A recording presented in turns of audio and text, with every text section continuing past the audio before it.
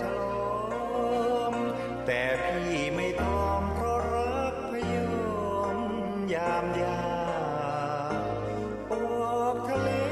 จะหาปลามาฝากเพลงเพราะเพลงนี้ล่ะค่ะที่บรรยายทั้งความสวยงาม แล้วก็ความรักของหญิงชายได้อย่างลงตัวนะคะทำให้เพลงท่าฉลอมยังเป็นเพลงประจำตัวของคุณอาชรินนันทนาครมากว่า 60 ปีแล้วค่ะ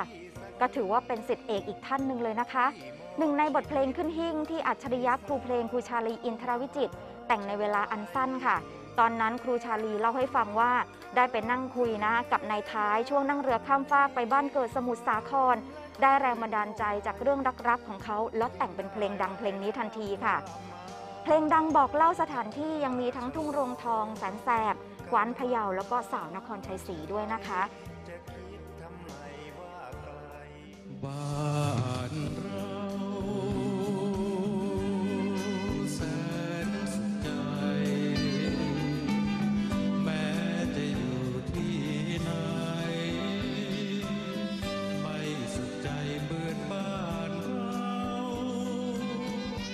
เป็นอีกเพลงโกลเด้นซองเลยทีเดียวนะคะ เป็นหนึ่งในพันกว่าเพลงที่สร้างชื่อให้ครูชาลี จนชีวิตพลิกผันค่ะ จากนักร้องหน้าม่านสลับฉากมาเป็นนักแต่งเพลงอย่างจริงจัง ก็คือเพลงนี้บ้านเรานะคะ ตั้งใจมอบให้ศิลปินแห่งชาติผู้ล่วงลับอีกคน คุณอาสุเทพวงกำแหงท่านเป็นคนขับร้องไว้ค่ะ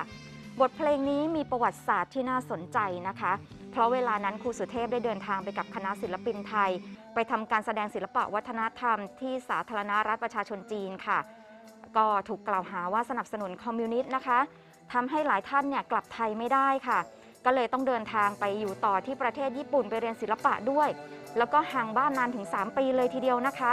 เมื่อกลับมาพบกับครูชาลีค่ะ ครูชาลีก็เลยบอกว่างั้นต้องร้องเพลงนี้ มอบเพลงนี้ให้นะคะ ตอนถ่ายทอดก็รู้สึกเต็มเปี่ยมไปด้วยความคิดถึงเมืองไทย คิดถึงบ้านเกิดจนเป็นเพลงบ้านเรานี่ละค่ะ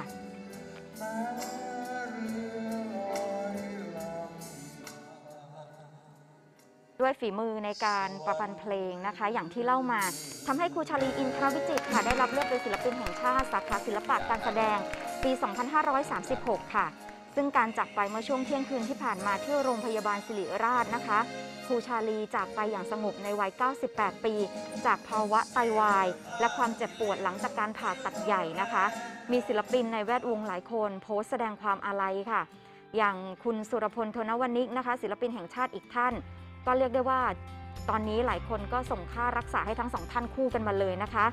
คุณเทอุเทนพรมมินค่ะ โพสต์ข้อความอาลัยว่ากราบลาคุณอาชาลีอินทรวิจิตที่เคารพรักอย่างสูง เป็นความเสียใจอย่างมากอีกครั้ง ซึ่งห่างกันไม่นาน นับจากอารีอาเทพแล้วมาถึงคุณอา ขอให้ดวงวิญญาณของคุณอาสู่สวงสวรรค์ รักมากจากหลานรักของคุณอาค่ะ โดยคุณเท่ยังโพสต์ภาพแผ่นซีดีพร้อมลายเซ็นครูชาลี ซึ่งครูเคยแต่งเพลงชีวิตดั่งเพลงให้คุณเท่ไว้ด้วยนะคะ ทุกเพลงอะไม่ว่าจะเป็นเพลงเศร้าเพลงสุข เพลงสนุกสนานเพลงเพลงอะไรก็แล้วแต่ที่ผมได้แต่งมาตั้งแต่สมัยผมยังหนุ่มๆอยู่ผมแต่งตั้งแต่บ้านชายทองนะนี่คือสถานแห่งบ้านชายทองที่ฉันปองมาสู่ ฉันยังไม่รู้เขาจะต้อนรับขับสู้เพียงไหน อาจมียิ้มอาจฉาบบนสีหน้าว่ามีน้ำใจ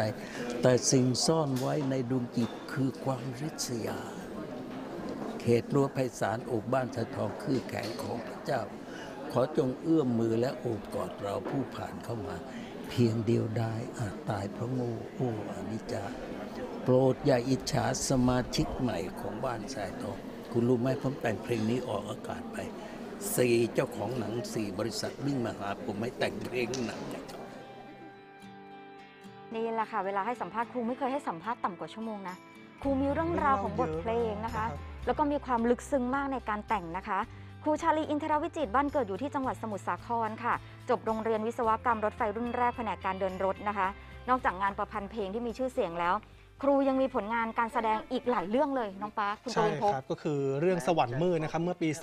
2501 ซึ่งเป็นผลงานของคุณรัฐเบสตันยีครับ เป็นหนังดังที่รวมเอานักร้องแถวหน้าไว้เยอะมากเลย มีทั้งครูชาลี ซึ่งแต่งเพลงด้วย แล้วก็มีการร่วมแสดงด้วย แล้วก็มีอาสุเทพวงศ์กำแหงด้วยนะครับ ซึ่งเรื่องนี้ต้องบอกคุณผู้ชมว่าพิเศษตรงที่เป็นหนังถ่ายทำด้วยฟิล์ม 35มิลลิเมตรเขาเรียกว่าถ่ายทำแบบเทคนิค sound on film ก็คือเสียงในแผ่นฟิล์มครับ นอกจากนี้ยังเคยแต่งเพลงประกอบหนังดังอย่างเรื่องเรือนแพด้วย ที่สำคัญครูชาลียังมีผลงานในฐานะผู้กำกับภาพยนตร์ครับ ในนามอินทรวิจิตรภาพยนตร์ เช่น ภาพยนตร์ดังเรื่องพยองปี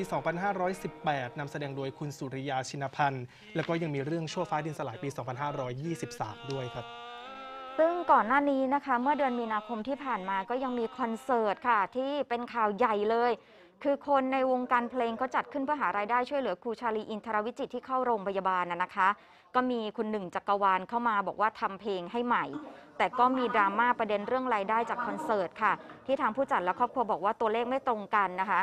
ซึ่งทางครอบครัวก็บอกว่าฝั่งคุณหนึ่งจักรวาลนี่ก็ยังไม่ได้มีการเคลียร์อะไรต่อนะคะ ก็คือตอนนี้ก็ยังไม่ได้คืบหน้าอะไร แต่นี่ก็เป็นคอนเสิร์ตครั้งสุดท้ายที่คนในแวดวงจัดขึ้นให้กับศิลปินแห่งชาติคนนี้ครูชารีอินทรวิจิตรซึ่งทุกครั้งที่ท่านขึ้นเวทีท่านก็จะมอบบทเพลงให้เราฟังอย่างนี้ค่ะ